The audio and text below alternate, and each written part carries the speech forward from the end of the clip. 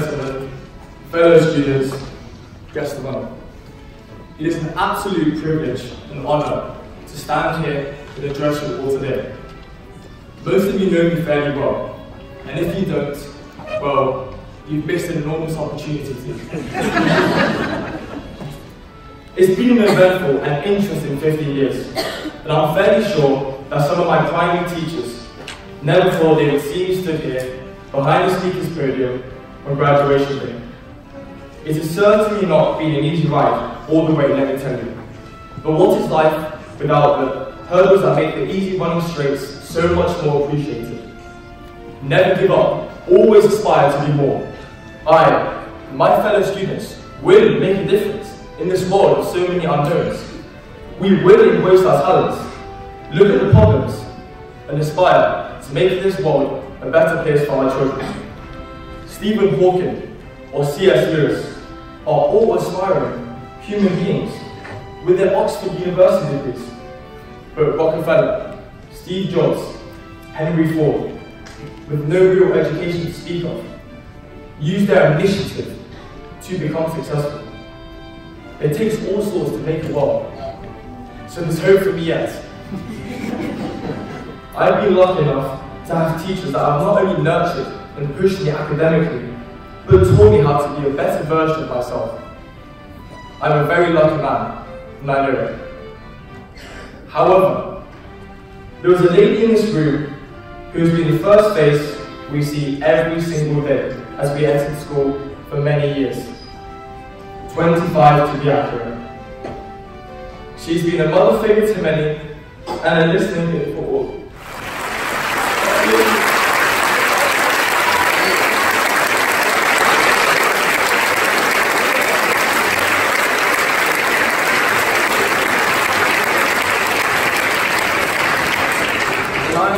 And her publicly how proud I am to have had in my corner for all these years. Without doing your unconditional love, I would certainly not be standing here today. As I mentioned in the beginning, my journey started 15 years ago, and it really has been epic. To my fellow year 13s, whether our journey together has been long or short, I would like to express the honour I feel to be graduating alongside each and every one of you. I wish you all brilliant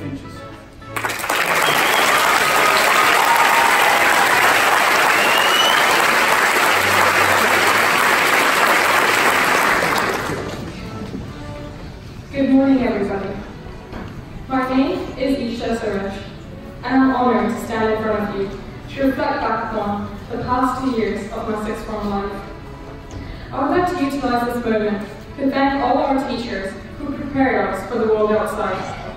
Thank you, Mr. Willis, Mr. Wallacott, Ms. Mota, and Dr. Sutcliffe for being the epitome of strength and a pillar of great support to all of us. You have been as strict as a father and as loving as a mother, equally caring as a friend, and yet always so approachable. Dr. Sutcliffe's famous quote, what is wrong with you all? will always echo through our years as we continue to make silly errors. There are two types of teachers in this room.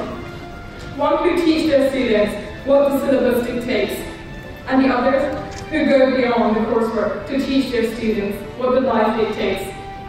So thank you, Mr. Birch, for being the latter, and yet finishing the syllabus just on time.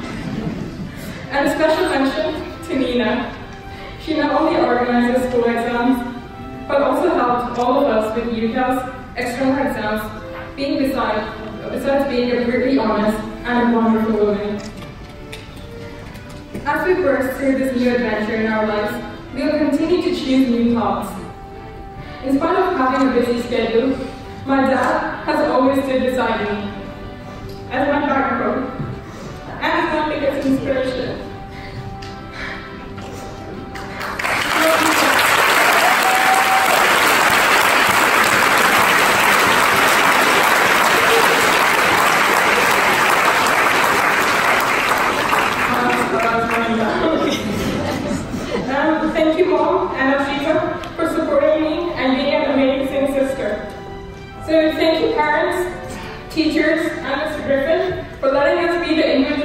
I couldn't have made it to University of Cambridge without the support of the whole EIC family. It has been a wonderful two years at EIC. A huge congratulations to the graduating class of 2019.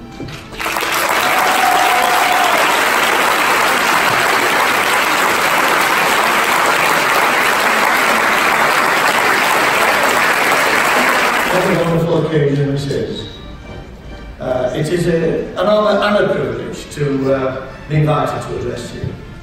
Can I just say first of all how impressed, incredibly impressed I am with Samuel and Ishtar. Because, as the director said, to stand up in front of somebody and speak like that to a lot of people is a great gift. For now is the time the child's bones are being formed, blood composed, senses developed, emotions and feelings. We cannot answer a child's tomorrows, but we can answer a child's todays. And a good school does that. I was inspecting for 11 years, and the phase of education I enjoyed the most, I have to be honest, were the small children. For as Plato said, and Wordsworth, the child is father to the man, we learn more from the young child than we ever do from anybody else. When I was inspecting a nursery, a little boy of four in a cardboard box. I couldn't see him, but the box was moving. Brum, brum, brum. And I looked over the top and said, Are you in your racing car? He said, No, I'm in a cardboard box.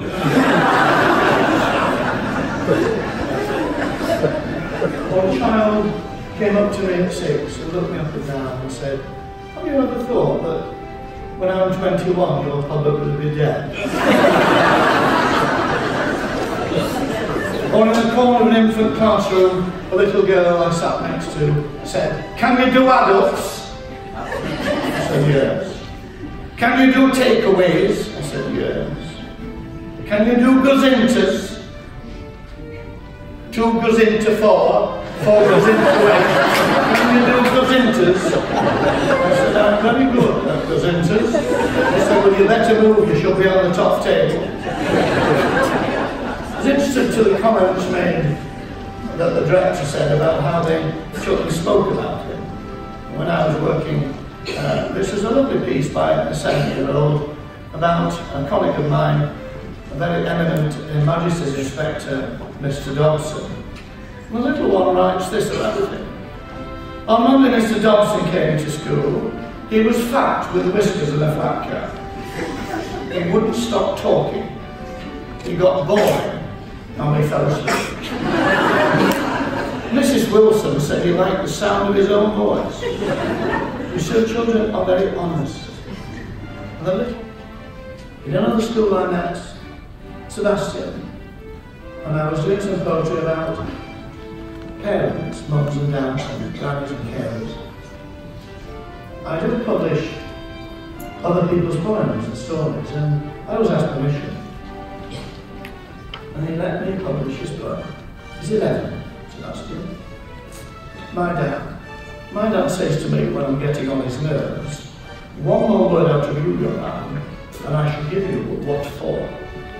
What for, I ask him. What? What for? That's what I said. I said I would give you what for. No, what will you give me what for for? what? What will you give me what for for? What will I give you what for for? What will I give you what for for? Yes, to teach you what's what, that's what. well, what's that? What's what for? What, what for for? Look, if you're going to be quiet, I shall let you have it. What? One more word out of you, young man, and you will get a piece of my mind. I don't say another word. I don't want a piece of my mind. I can understand a word he says. yeah? Uh, I'm going to present to the director, who has been wonderful, as he did the principal and staff, on making me feel incredibly welcome. I couldn't ask for anything.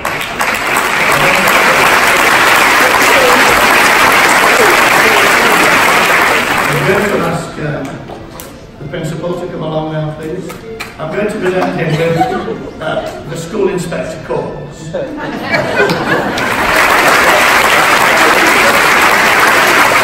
latest one I'm going to present to a special person.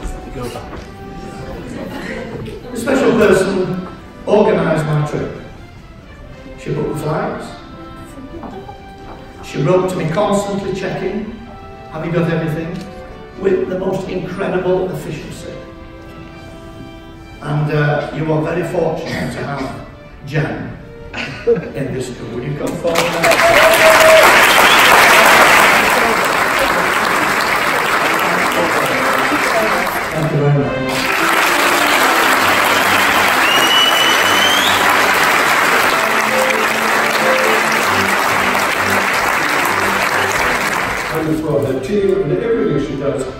study support years through the school and we wish her a very, very happy birthday.